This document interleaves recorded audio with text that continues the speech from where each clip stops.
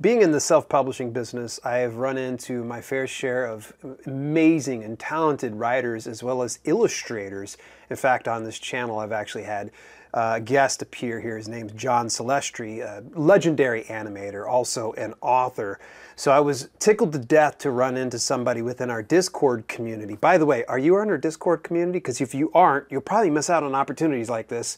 Go over to dalelinks.com slash Discord. But at any rate, I ran into this gentleman. His name is James Lee, and actually he's been illustrating for, gosh, his whole life until more recently he had a debilitating injury on his hands that prevented him from writing. He's actually going to share more of that story and how he became an author and what he's done. It's a little bit more unorthodox, actually probably unorthodox to today's standards of modern self-publishing, you know, because we discuss things like taking out ads in magazines, which I never thought would be able to get a good return on investment. Well, without spoiling this interview, let's get right on into it. So, James, just prior to us chatting or recording here, we were just discussing the fact that I kind of stumbled over you within our Discord server. Uh, what brought you over to the Discord server is going to be the very first question I'm going to ask you. Very, very basic. well, um, back in 2018, um, I started working on my books, my novels. And so I first I ran across Judy the Brookbroad from Book Launchers, who you know who I'm talking about. So I was watching her program, and she had you on. And so they put your Discord down there, so I joined your Discord, and I was doing um, talks between listening to your videos in Discord and talking with her. But since she does not do fiction, she recommended me this other publisher, so I went over there and talked with them. And I talked with four or five publishers. I had four or five off, different uh, um, offers for the book. And so I just, you know, I sat down. The thing I did was I sat down with an attorney to look over the contracts. And he was very knowledgeable about books and everything like that. And he showed me which one to look for and what to not look for. And to be careful of when they talk about giving you five or six team members to promote your books and stuff like that because the more people get involved, the less finances and less amount of money you're going to make off your books. And when you start going through contracts, you see this big difference in pricing, you know, and how much you're going to make and everything. So that was the beginning of it. Mm-hmm. And then I started asking you questions along with her, and I was getting more and more. And my the way I did it was kind of a hybrid where I don't fool with the actual formation of the books. Okay. They do it all for me. And what they'll do is now I, I went with Ingram Spark um, because I wanted that global that global um, reach, and not only that, but my my publisher had a real good with Ingram Spark, so it was really easy to get in with Ingram Spark, mm. get on their catalogs, get it going, and everything like that. So that's how I started. Very interesting. It's the thing that stood out for me when I saw you join the Discord server was, you know, you were you were contributing on a regular basis. You were having conversations with people, very meaningful ones as well. Um, but the thing that really made me impressed by you and what you're doing was, oh my gosh, your covers are absolutely phenomenal. How the heck are you doing those covers? Because I just think you're a sorcerer at this point because they look absolutely incredible.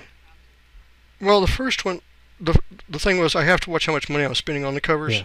Because you know you've you've done it like that. so the first one, um, the publisher did it in house. Okay.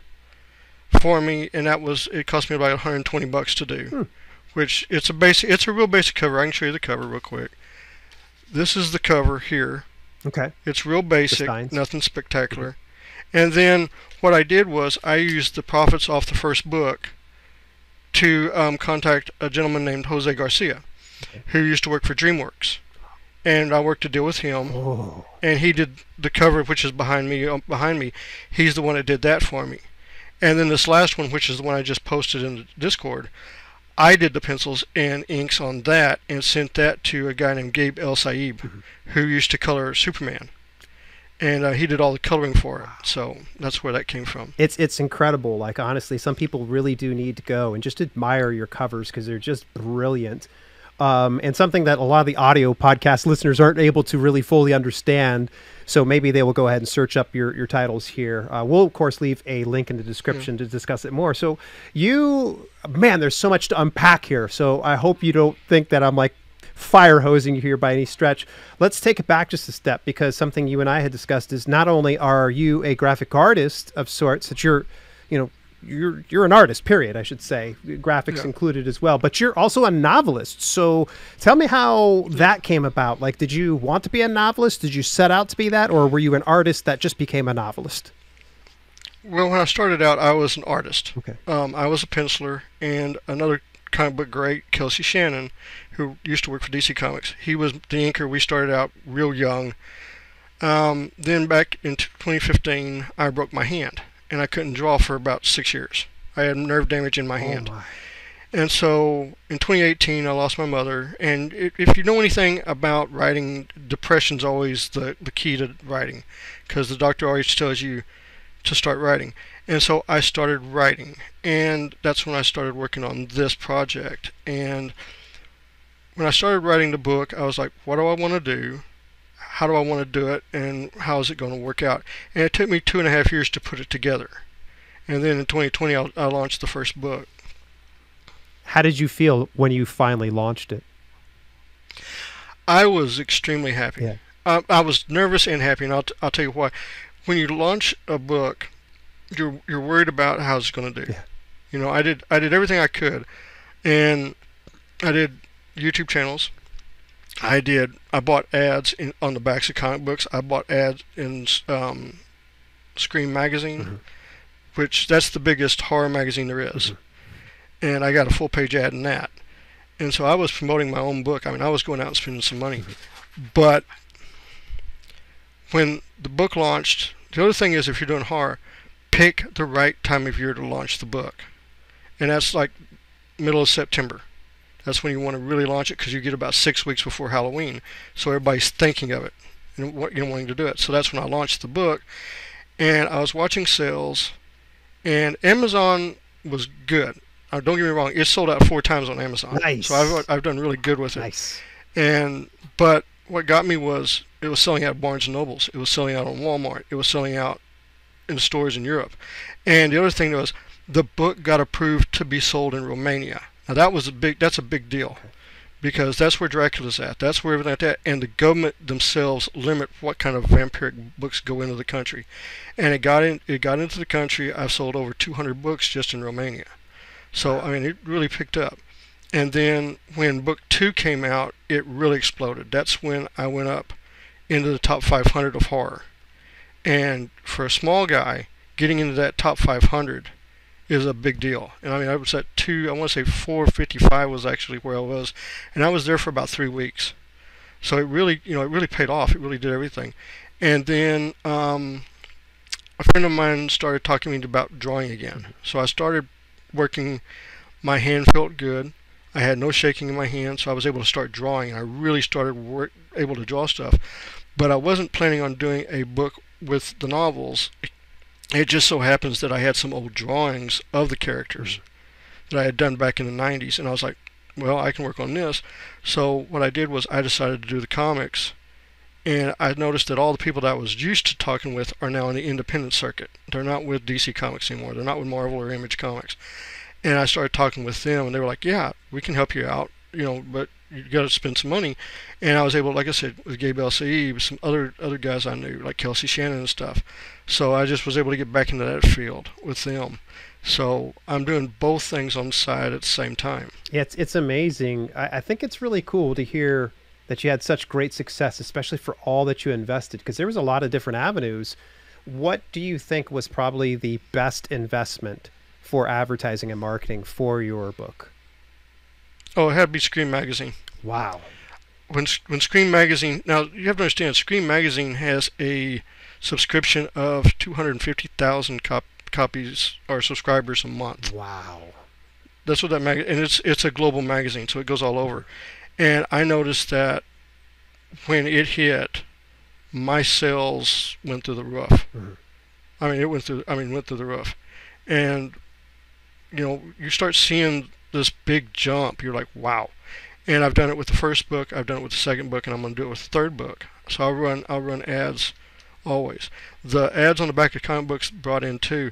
So it's not just doing the social media and Twitter and Facebook and all that stuff, but going old school ads pay off a lot too. Yeah, it's it's got me really wondering because I even thought at one point or another to buy out like a billboard sign because there's a lot of these you know content creators that share like oh go do Amazon ads, go do Facebook ads, but I think I wonder like things like the Scream magazine, like that placement could definitely make a difference, especially you're going right to where your audience is. Do you mind if I ask how much did that run you to run an ad in Scream magazine and how large was it for you? Uh, it was a full page ad and it was uh, $500. What? What? 500? Yeah. That's it? I would have anticipated That's so it. much more, especially for a full No. page. Huh. No, it was a full page ad. And it was for 60 days, so I got two months. Yeah. Plus, I got their digit. They got they did a they did an ad digitally as well on their digital platforms. Yeah, I remember. So you get all this area. Yeah, I remember the uh, Scream magazine from when I was a kid because I, I used, you know, still big horror movie fan and such like that. Uh, yeah. Did you ever look into Fangoria or is that even around anymore? Fangoria is still around. I haven't dealt with them yet. I'm trying to get communications with them. Uh, the other thing that I've done, which really helped me, was I went to the horror conventions Okay. and I went to comic book conventions. And the thing is, the first one I went to, I took, I want to say I took 150 books with me. And this is a horror convention, and I sold all of them in one day. Oh, I was like, I'm sitting here for two days with nothing on the table. wow. Like at that point, you just like, you smile at people and wave as they walk by. So so now I have a complete setup. I mean, I have the banners. I've got like f- four different banners like this. I've got multiple books. Um, I've got new artwork. I've got new posters. So when I go to conventions now, I have a. When you come to my table, there's a whole lot of stuff there. So I'm like all you know. I'm all set for everything. So the last convention was really good. I did one just a few months ago. I've got one coming up next next month. Mhm. No, I'll tell you about two months from now. Um, I've had I've had one convention where I sold over 500 books. wow. And how are you finding the conventions and what do you typically have to pay for a booth? Well, um, the horror convention for two days was costing me two hundred dollars. That's reasonable. That's all I pay for the table. It's an eight foot table. You get to design it however you want, and they give you pre, you know they give you pretty much. Plus they get you when they start mailing out stuff about who's going to be the guests are going to be there, who the artists are going to be there. Your name's there, your products there, your website's there, so you get pro- promotion from there. I always have business cards. Always have a mailing list. That way people can sign up at the convention. And if you even if you sell out, you you can go to the website. You can go get Kindle. You know, I always have all that information right there at the web on the web page. The other thing is, when you're actually doing a convention, there's two ways to do things. One, make sure you can take credit cards because a lot of people that's all they use, Yeah.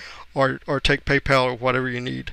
That's the main thing. Hmm, good tips. Like, uh, uh, what would you say would be the best way to get a lot more eyeballs on your stand at a conference? What were some of the? Because you said you had the couple backdrops, but what are some other tips that you have for people? Well, the other thing is when you're doing when you're at your stand, um, I have right now I have three banners like this one behind me. They're eight feet tall. Um, it, different artwork on each one, and then I've got a new one coming for book three. And what I'll do is I'll have two I'll have two behind the table, and I'll actually set two on the table. That way, when you walk in the door, here's this eight you, from top of the table, then eight foot above that, so you can actually see it from the front from the door. Nice.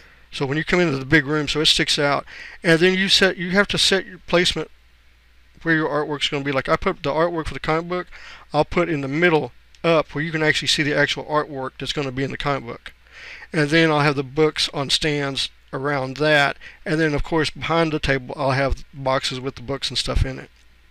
Uh, brilliant. You're selling 150 copies on a single convention. That's that's incredible. That obviously pays for the whole rental of the space.